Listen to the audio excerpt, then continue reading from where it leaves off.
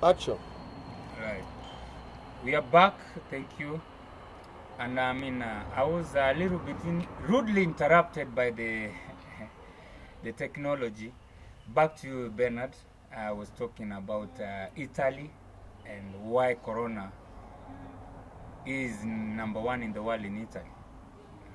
My Well, thank you. Uh, I was uh, very explicit that Italy forms the center of uh, a Catholic Church in the whole world. And every Sunday, every congregation they have, they should have the sacrament, the Holy Sacrament. Now, you know, they have said that the virus is spread through uh, the breath, uh, the mucus, and uh, through the hands when you touch Contact. sneeze, contacts, all those. So I want to believe that Italy, having those uh, ceremonies and functions and events, which has which are so much religious, could have actually increased the spread, the rate of the spread of It the virus in. Italy. All right. Now in China, can say it's because of the vast population. You know, China is what 1.4 billion people. A quarter. and you know that mingling that integration social integration and also what they eat. These people eat uh, they, they, they, they eat rubbish. Now i was saying back to kenya. I'm asking the cs mutawe to bring that down the experts the scientific experts the mathematicians the professors of math, math and to explain to us the rate at which there is multiplication of one uh, infection or one infected person to another. And I was saying, we want Mutai Kagwe to be very clear.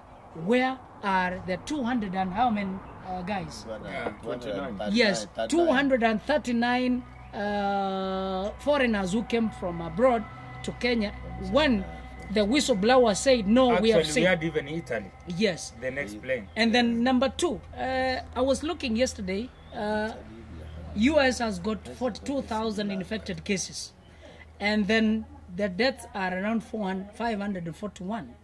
Now we need to ask Mutai Kagwe. Today I have seen that the Kenyan government has created three more quarantine centers. Now the question: the priest came from Italy, administered in Nairobi, went to give sacraments in uh, Siaya. Now the question, where is the quarantine center in the western region in this case? We want to know. And the number two, Mr. C.S. Mutai Kagwe, very serious question. I want you to respond to me. That one, do we have specialists who have been trained to establish the truth about and the extent about those people who have been infected?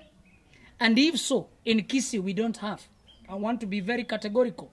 Now, seeing somebody with symptoms, I want to be very clear. Two weeks ago, in Kisii Teaching and Referral Hospital, where the Kisii University Vice Chancellor Professor Kama gave a memo disputing that there was no coronavirus.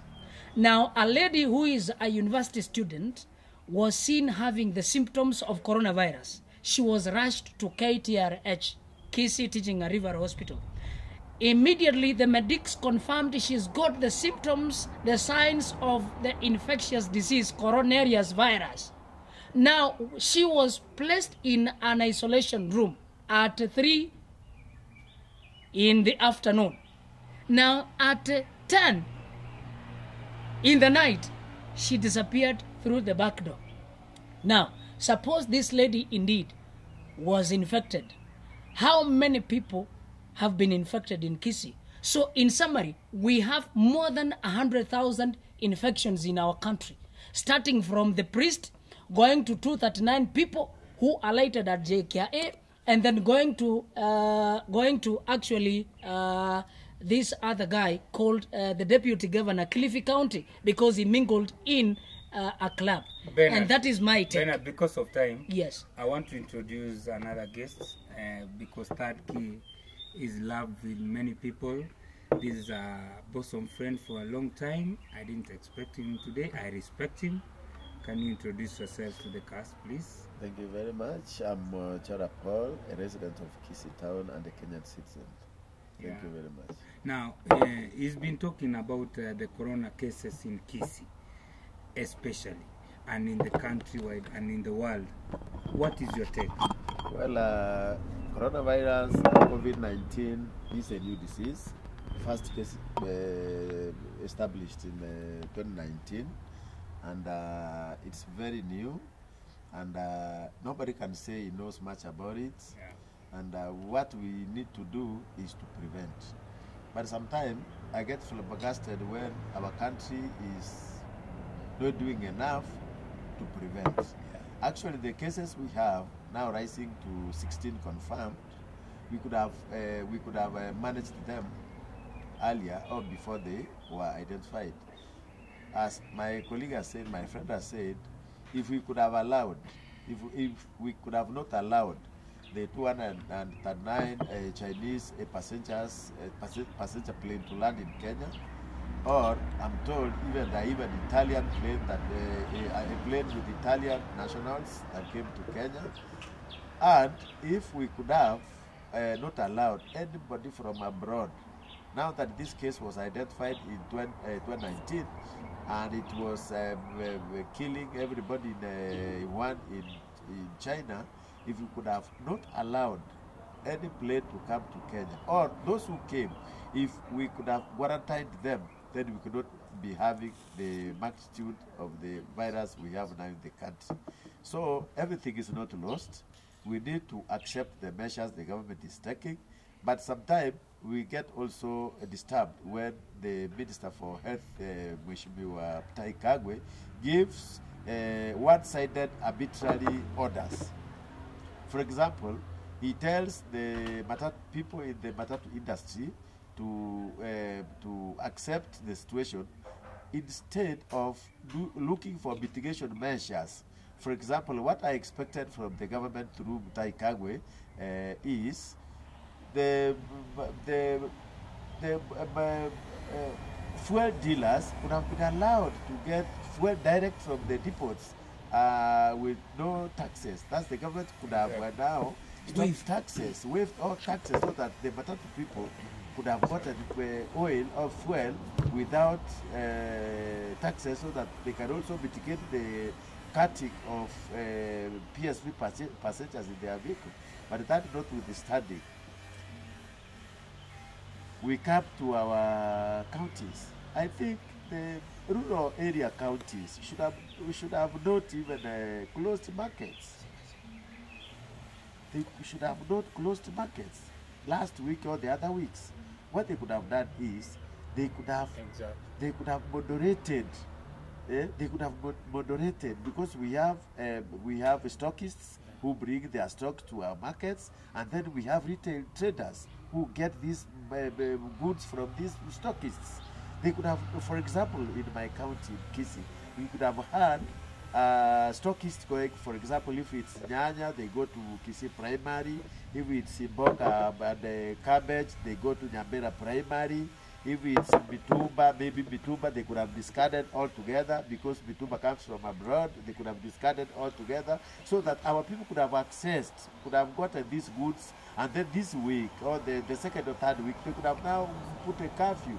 But anyway, this is at, it may. This is a disease that is killing everybody, so we need to quarantine ourselves, and the government should look for mitigation measures to uh, see that those who quarantine themselves, especially those from hand to mouth, at least the billions we are getting from World Bank, that's 8.4 billion. The billions we are getting from from our central bank, that's 7.4 billion, and other donations go into giving food to people who are quarantining themselves, so that people can have food while quarantining as we monitor Well, thank the you so situation. much. Thank, you. so much, sir. And uh, to crown everything, number one, I want to tell the Kenyan people what is happening in the world. We don't have the capacity whatsoever, and I repeat, whatsoever, to conquer this disease. I'm going to use one word seven times quarantine, quarantine, quarantine seven times. And uh, if you go back to our country, thank you. The banks, I start with the banks. They talk about when you go to the bank right now, you have a loan. They are telling you, give us our pro- your projections how you're going to pay the the loan. You don't even know how, how long you will survive. How can you give a projection? I think the banks are now showing us that they are unscrupulous businessmen of this country. They don't care about their customers. Shame on you, the banks. Don't give us time limit because even you yourself, the bank manager, you don't know how long you live. Nobody knows. We are in a quagmire. Don't give us time and uh, projections. KPLC, mmekuwa mnakata stima kila mahali, si time saizi mtu kukosa stima. Food stamps kwa government, kama mnataka quarantine, patia watu chakula kwa nyumba, maji kwa nyumba, sanitizer kwa nyumba, tutaingia quarantine. Tuko tayari quarantine hata saa hii. Namba mwisho, rent. Hata mimi siendi kulipisha rent for two months. Mimi ni landlord. Wengine wa follow suit. Bradhangu rent yako nitakulipa tutaenda kulipisha rent after two months. Tupatie wa kenya time wa adjust. Spa industries. Industry kama ya textile tuna need material ya hizi vitu tunavaa kwa mapua. Tuna need sanitizers tuna alcohol ya kutosha ingine imekuwa impounded nairobi. We need pharmaceutical plants. Because in china we can't get all this shit together. Airborne disease wanasema world health organization saizi corona imegeuka kuwa airborne. Nobody knows about this pandemic. Is only god. If you are inaenda airborne we don't need this fake mask tunatumia sahii but i would love to thank robert Manduku of ema for giving us assistance in this duration tunapigana. This is one guy mwenye ameshikana. I love the hindu community and the indian community of kisi town for staying with third key because you know the end justifies the means. Eges fm today i listened to you. There was a lady from nyamira who was crying out. Awezi uza maziwa bila bila ninamaliza show. Hawezi uza hii maziwa bila kupatiana chakula kwa nyumba. Ukimzuia lazima uze ile maziwa. Anasema government tupatie chakula tupatie madaktari tupatie sanitation sanitizers pale kwa nyumbani nyamira Kibirigo and everywhere.